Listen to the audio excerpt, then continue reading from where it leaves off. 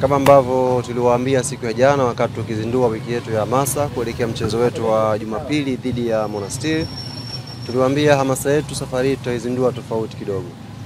Tutaizindua hamasa yetu kwa kutembelea matawi yetu ambayo uongozi wa Young Africans tunaamini kabisa ni miongoni mwa matawi makubwa ya Young Africans uh, hapa Tanzania. Na leo uh, kwenye kupita kwenye matawi yetu tumepata bahati ya kupita kwenye moja ya tawi kubwa sana hapa Tandale, tawi la Pamoja Tandale.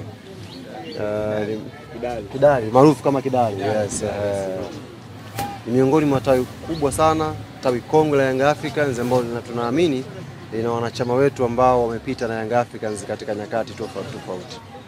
Lengo kubwa la kuja hapa ni kuwaomba tawi hili kushirikiana na club kwenye hamasa kuhakikisha timu yetu inafuzu hatua ya robo fainali ya kombe la shirikisho la CAF.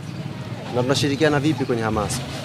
Hili tawi kubwa kama nilivyowaambia, maana yake linatambua pia ukubwa wa hili eneo, linaweza kufikia watu nyumba kwa nyumba, uh, mtaa kwa mtaa, kuhamasisha mashabiki na wanachama Young Africans wote kwa pamoja waje kwa wingi Benjamin Mkapa uh, siku ya Jumapili kuishangilia timu yao. Tumekubaliana kauli mbiu yetu ni full house, full shangwe, waje tumalizane. Sasa hii full house hatuwezi kuipata kama hatuwezi kuja kuzungumza na matawi yetu, hatuwezi kuja uh, kuwaambia dhamira ambayo klabu tuko nayo kwenye michuano ya kimataifa msimu huu. Tuna furaha kubwa kwa sababu umetupokea vizuri, na sisi kama viongozi tumetambua kwamba matawi yetu yapo hatua mbili mbele kwenye hili jambo. Sisi tumekuja kuwaomba leo wawe pamoja, lakini kumbe tangia mchezo Bamako umemalizika wameshaanza kujikusanya na dhamira yao ni kuona timu inakwenda kwenye hatua ya robo fainali. Kwa hiyo tunawapongeza sana tawi la pamoja hapa Tandale. Tunaamini mtakuwa mfano mzuri, mfano wa matawi mengine kuiga umoja ambao mko nao na kujifunza yale mazuri kutokana na ukongwe ambao mko nao na kuyahamishia kwa matawi mengine yaweze kufanya vizuri vile vile. La pili ambao tumekuja kueleza hapa ni umoja ambao tunaohitaji kama klabu kuelekea kwenye mchezo huu. Young Africans kwenye historia yake haijawahi kufeli jambo ikiwa imeshikamana pamoja, haijawahi kufeli Yanga ikiwa imeshikamana pamoja ikafeli jambo lake. Huu mchezo wa Monastiri ni mchezo mgumu kwelikweli, ni mchezo mgumu pengine kuliko yote kwenye kundi letu. Hawa jamaa hawajafungwa mchezo wote mpaka sasa hivi, na sisi kama Yanga hatudanganyiki na huo mteo kwamba wameshafuzwa robo fainali watakuja hapo watalegeza wata, wata, kidogo. Hapana, sisi tunawachukulia Monastiri kwenye usiriasi wake, tunawajua ni timu ngumu, ni timu ambayo imewekeza vizuri msimu huu na wana malengo makubwa. Kwa hiyo timu ambayo imewekeza vizuri na malengo makubwa pia anataka kuweka rekodi zake vizuri kwenye mashindano. Hawezi kukubali kufuzu alafu akapoteza michezo kirahisi. Watakuja kupambana hapa Dar es Salaam, na sisi kama Yanga jukumu letu kubwa ni kuwa tayari kwa hayo mapambano, kupambana nao na ushindi ubakie nyumbani. Tunataka rekodi yao ya mchezo wa kwanza kufungwa waipate wakiwa Dar es Salaam, na watu wa kutengeneza rekodi ni sisi Yanga, sisi wa kushirikiana na wachezaji wetu, benchi la ufundi, viongozi na wanachama kwa pamoja tutatengeneza rekodi ya kumfunga Mwarabu Monastiri kwa mara ya kwanza kwenye michuano hii kwenye uwanja wa Benjamin Mkapa. Kwa hiyo niwaombe mashabiki na wanachama Young Africans, tukitoka hapa, nyinyi balozi wazuri majumbani mnapokwenda, balozi wazuri kwa marafiki zenu mnaokaa nao mitaani, lakini pia hata kwenye familia zenu. Jumapili hakikisheni hakuna shabiki wa Yanga, hakuna mwanachama wa Yanga anabaki nyumbani. Twende eh, Benjamin Mkapa tukautengeneze usiku wa kihistoria, tushinde ushindi mzuri na tuipeleke timu yetu kwenye hatua ya robo fainali inshallah. Na nimewaambia uh, wanachama wetu hapa, msimu huu klabu yetu malengo yake yalikuwa ni kufika hatua ya makundi. Tumefika hatua ya makundi, tunaitafuta hatua ya robo fainali. Lakini tukiangalia CAF Confederation ilivyo, bila shaka yoyote klabu yetu inaweza kuthubutu kusema tunaweza kusogea hatua za mbele zaidi kwenye michuano hii, lakini huko mbele tutasogea kwa kuanza kufanya vizuri kwenye mchezo huu wa Monastiri.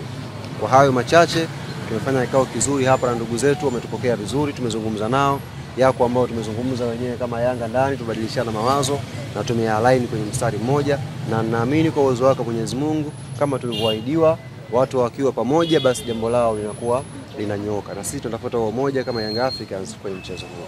Tumeambatana pia na mkurugenzi wetu wa wanachama Haji Mfikirwa, lakini pia tunaye hapa mwenyeji wetu ambaye ni katibu wa tawi hili ambaye kwa machache pengine naye katibu angezungumza kuwawakilisha wanachama na mashabiki wote wa hapa, lakini pia sauti yake ikawe sauti ambayo itawahamasisha wanayanga wengine kwenye matawi mengine kwenye mikoa mingine kuhamasika kuja kwa wingi Benjamin Mkapa, kuhamasika kuwa wamoja, tutengeneze kisu kimoja chenye makali kwa ajili ya kwenda kumchinja Mwarabu siku ya Jumapili inshallah.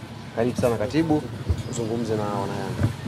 Katibu wa tawili la pamoja Tandale kidari asilia, kwa jina naitwa Msafiri Faume na vilevile ni katibu wa kamati ya hamasa kanda ya Kinondoni.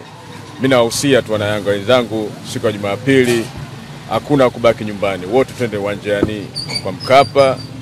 Mwarabu sisi tunamchinja tena goli za kutosha, tunamdhalilisha hapa hapa Mwarabu, ili akienda kwao atambue kabisa kama kule Tanzania kuna timu inaitwa Yanga Africans. Hii ni timu ya wananchi, hii ni timu ya wanachama, na ikiitwa timu ya wananchi, maana yake wananchi ndio wenye timu yao, ndio wenye maamuzi na timu yao, na hawa wananchi sio wengine, ni hawa wanachama unawaona hapa, ni hawa mashabiki unaoona hapa, hawa ndio wenye Yanga yao, hawa ndio ambao nimetoka kuwaambia tawi lao hili liko barabarani kabisa. Yanga inapofungwa, hii ni miongoni mwa tawi ambalo linapata kadhia kubwa ya kutaniwa, ya kuchekwa, ya kufanyiwa kila aina ya dhihaka hapa kwenye tawi hili. Kwa hiyo nimewambia haya ambayo mmeyapitia, hususan kwenye michuano ya kimataifa, nyie pamoja mkubaliane kwamba imefika mwisho, mtoke hapa kwa nguvu moja, muhamasishe na wengine, twendeni kwa wingi Benjamin Mkapa. Lakini pia Irene, na kwa faida pia ya waandishi wengine, tulivyowaambia kwamba tunakuja kuwaambia wanachama wetu lili ambalo linawezekana kufanya walifanya timu yetu iweze kupata matokeo mazuri. Tulimaanisha kwanza, tunahitaji Yanga iwe kitu kimoja kwenye mchezo huu, tunahitaji matawi yetu yote yazungumze kitu kimoja. Mkurugenzi ametoka kusema hapa, hii klabu ya Yanga ina mambo mengi sana kwenye utendaji wake, lakini kwa wiki hii jambo moja kubwa ambayo inabidi Yanga wote ulichukue ni huu mchezo wa Jumapili dhidi ya Bonasiri. Mambo mengine yote tuyaache, pengine si kuna uchaguzi wa tawi hapa, sijui kuna mtu na nini, yote yake pembeni kwanza focus ya Young Africans kuanzia chini kwenye matawi yetu mpaka juu ielekee kwenye mchezo wa Jumapili. Kwa hiyo tukiipata huu moja, tukiipata kauli moja, naamini ni nguvu kubwa kwetu sisi kwenda kumpiga Mwarabu. Hatuwezi kwenda pale kumshangilia Mayele wakati sisi hatujakuwa pamoja. Tunataka twende na nguvu kubwa, tukaujaze uwanja tukiwa tunaamini kabisa timu yetu inakwenda kufuzu hatua ya robo fainali. Hii Yanga ni timu kubwa sana kwenye historia ya nchi hii, ndio timu kubwa kuliko zote kwenye mpira wa nchi hii. Hii timu haiwezi kuwa inadharauliwa inapokuja michuano ya kimataifa na hawa wanachama wakakaa kimya. Lazima nao play part yao kwenye kuishika timu yao kuipeleka hatua ya robo fainali. Kazi yao kubwa hawa ni kujenga hamasa, ni kushirikiana na viongozi, kushauri panapowezekana, kushaurika ili timu iweze kufanya vizuri. Na nimekwambia tumefika hapa, tulihisi wako sifuri, lakini kumbe wako hatua mbili mbele. Wameshaanza kufanya vikao vya matawi, wameshaanza kufanya vikao vya wenyewe kwa wenyewe kuambiana nini wanatakiwa wafanye timu yetu iweze kufanya vizuri. Kubwa ni kuambiana kuhusu hamasa, waitane pamoja na watu waondoke hapa kuelekea uwanjani wakiwa na nguvu kubwa ya pamoja. Tumwambia pia siku ya Jumapili hatutaki matawi yetu ya Dar es Salaam yatawanyike. Tunataka tumpe ujumbe Mwarabu, tuipe, tuipe ujumbe pia Afrika kwamba Tanzania timu kubwa ni Yanga na tumetengeneza paredi pale la kwenda robo fainali. Kwa matawi yetu yote ya Young Africans hapa Dar es Salaam na yale ambayo yanakuja kutoka mkoani tutaondoka makao makuu ya klabu pamoja kuelekea uwanjani. Kwa magari yawe mia mbili, mia tatu, bodaboda ziwe elfu moja, tutaungana pamoja kama nguvu ya Yanga inavyohitaji, na hiyo ndio ishara ya kuonyesha kwamba kwenye mechi hii inayokwenda ni Yanga moja tukitaka kufuzu. Tumecheza michezo miwili tayari hapa, tumeshinda uh, nyumbani, lakini huwezi kuamini kama tutafanya vibaya kwenye mchezo huu hakuna kwenye historia watu wakumbuka kwamba Yanga ilimfunga Mazembe goli tatu, Yanga ilimfunga Subamako goli mbili. Hakuna atakayekumbuka. Kitakachokumbuka kwenye historia ni Yanga ilienda robo fainali, Yanga ya nusu fainali. Kwa hiyo michezo iliyopita hii sasa hivi hatuitazami kabisa. Focus yetu ni huu mchezo wa mbele wa siku ya Jumapili, ndio akili yetu iko hapo, nguvu yetu iko hapo. Nguvu tuliyotumia kwa Mazembe tunataka mara mbili, Bamako mara mbili, timu iweze kupata matokeo mazuri, tuende hatua ya robo fainali inshallah.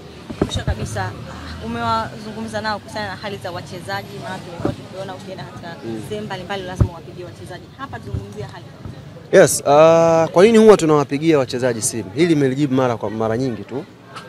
Tunataka tutengeneze uh, bondi nzuri kati ya mashabiki na wachezaji wao. Hawa mashabiki mnaona hawa wakija uwanjani hawa hawaji kumshangilia Ally Kamwe. Sasa mimi siingii pale uwanjani. Wala hawaji kumshangilia Haji Mfikiwa au rais wetu Engineer Hersi Said. Hawa wanakuja kushangilia wachezaji kumi na moja ambao wana, wanaanza kwenye timu yetu. Ndio hawa wanatoka nyumbani, walipa viingilio vyao, wanakuja kuwashangilia pale. Sasa hawa kama hawapati kauli ya moja kwa moja kutoka katika, katika watu ambao wanakwenda kwenye pitch, sidhani kama hawa wataamini kile ambacho mimi nitakisema kwa asilimia mia moja.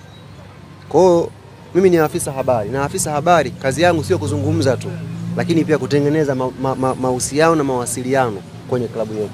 Kwa kazi yangu ya kwanza niliyoifanya kutengeneza mawasiliano ya moja kwa moja kati ya mashabiki na wachezaji wetu, na nyinyi wote mmeona impact yake. Mashabiki wamekuja kwa wingi na wachezaji wamejituma kwa kiasi kikubwa. Leo hapa hatuwezi kuzungumza nao kwa sababu tumeandaa hafla kubwa ya uzinduzi wa hizi hamasa zetu pale Manzese siku ya kesho. Kwa hiyo kesho inshallah mkifika pale mtawasikia wachezaji wetu wakiwaahidi mashabiki, watakuja mashabiki wengi pale, watakwenda kuwaahidi na mambo yatakwenda vizuri kabisa. Sisi tunaamini tulichokianza kukifanya kwenye mchezo huu kupitia matawi yetu kina nguvu kubwa na ni cha muhimu sana kuliko hata mangoma yote ambayo tukayapiga hapa au tukapiga ngoma siku ya kesho. Kuzungumza na watu wetu hawa, kuwaomba tuwe pamoja ni jambo kubwa na muhimu kwelikweli kwenye mchezo huu kuliko jambo lingine lolote. Kwa baada ya kuzungumza, tumewaalika pia siku ya kesho mje kwa wingi, katibu, mje tusherehekee pale pamoja, tutengeneze hamasa, tuionyeshe Afrika kwamba Yanga safari hii kuna jambo nataka tufanye kwenye michuano ya kimataifa, na sisi hatutaki kuzungumza sana malengo yetu, ila nimewaambia nyinyi watu wa mpira, mnafahamu, mkiangalia mambo yalivyo kwenye kombe la shirikisho, mkiangalia na quality ya timu yetu, basi bila shaka sisi tunaweza tukafika hatua za mbele kabisa.